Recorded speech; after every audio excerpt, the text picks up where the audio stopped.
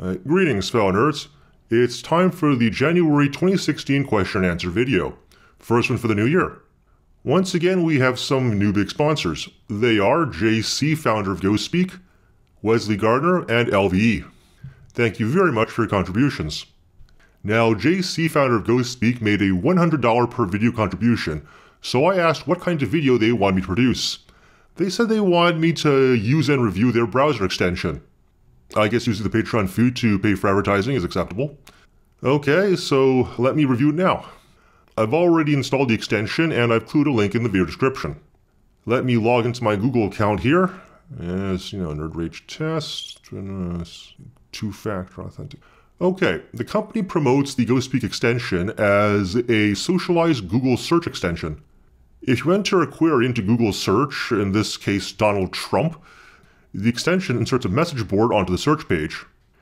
Here you can enter whatever you like for other Gospik users making that search query to see. So here on Donald Trump's search page, I can comment that I don't like his climate science.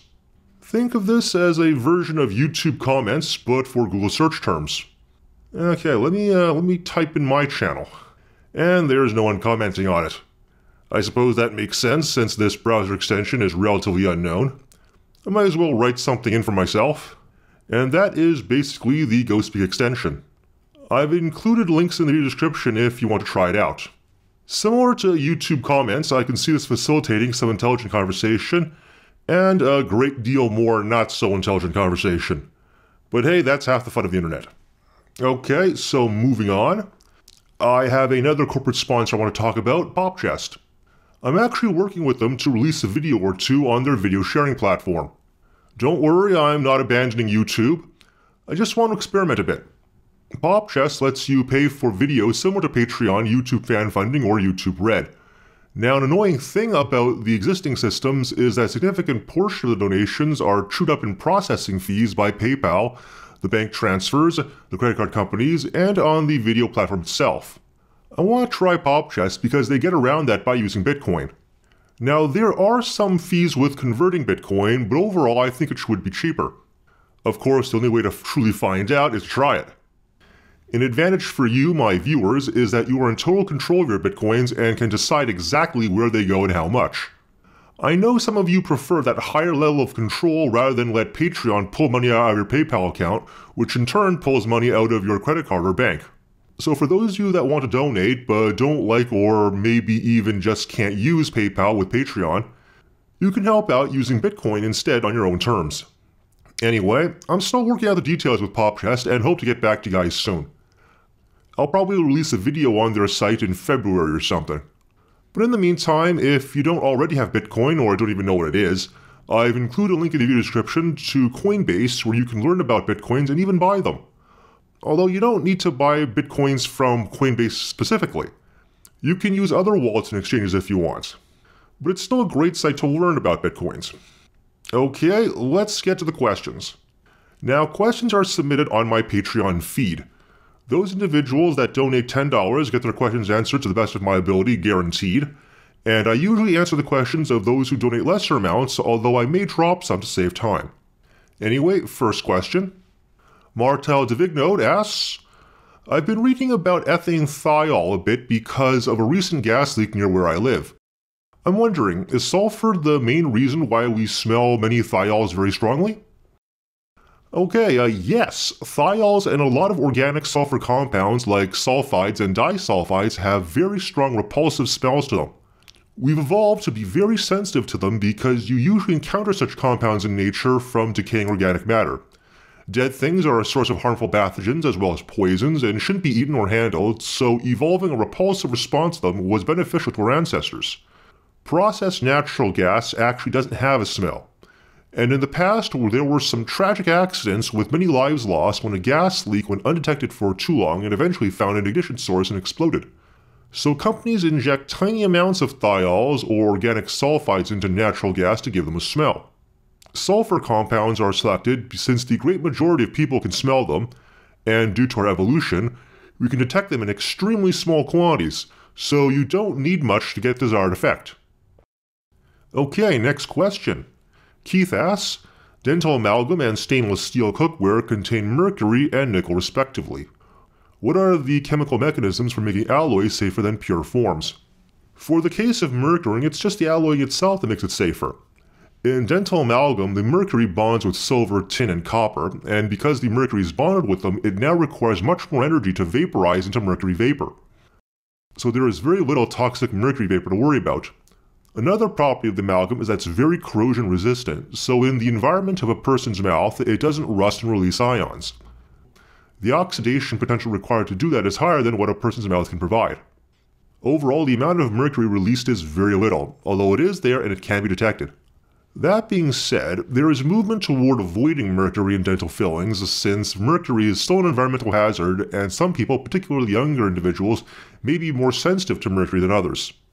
As for nickel and stainless steel, the protection mechanism is a bit different.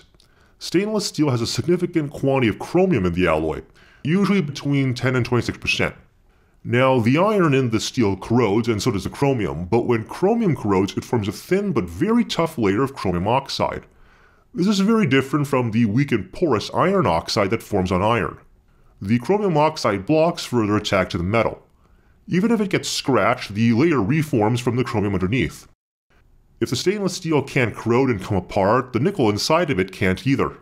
Now, tiny detectable amounts of metals do leach out of stainless steel cookware, but the amount is considered insignificant to human health. Okay, next question. Jason Black asks, you know that thing where lithium reacts with anhydrous liquid ammonia to generate those really pretty solvated electrons? Is it possible to drain those electrons off as a power source? Uh, technically, yes. You can drain them off if you simultaneously insert negative ions to compensate for the charge loss. Any energy you would get from them would not be any greater than what you would get from a normal lithium battery. The electrical potential energy in those electrons originally came from the lithium metal. Lithium batteries already efficiently extract electrical energy from lithium metal or lithium compounds.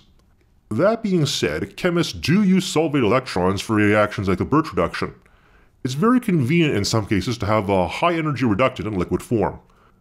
So in a way, we are using it as an energy source to power our reduction reactions. We just use it as is and don't bother draining off the electrons. Okay, next question. Pablo Soares asks, why did you end up working with inorganic chemistry? What is something about organic chemistry that you don't like working with? Can you explain why does this divide exist among chemists? You know, that is a good question. Unfortunately, I have a very stupid answer. I went into inorganic chemistry because when I was picking supervisors for my PhD, all the organic chemistry professors at my university weren't taking any more students. So I just went with the inorganic professor. I'm sorry, that's the truth. There is actually nothing wrong with organic chemistry. And keep in mind that all chemists know a little bit about every other chemistry, even if we don't specialize in it. There is no divide really in chemistry, but a specialized chemist will usually solve a problem in their field a lot faster, more efficiently, and a lot cheaper than a chemist for which that problem is outside their field. So I could probably go work in an organic chemistry lab, just the time it would take for me to do the same task would not be as cost effective as a chemist with an actual organic chemistry PhD.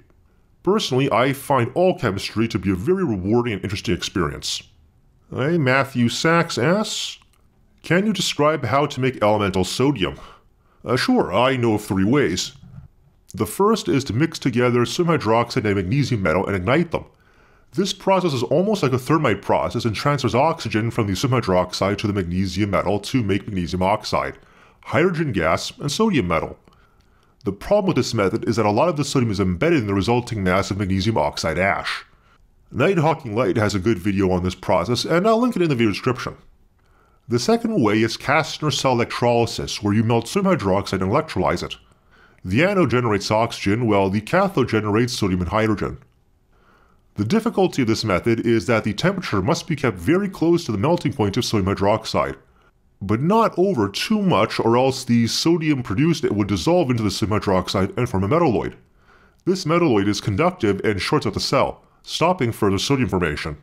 This method is also very dangerous as molten sodium hydroxide liquefies human flesh quite rapidly, and the molten metal has a tendency to pop and bubble as you electrolyze it.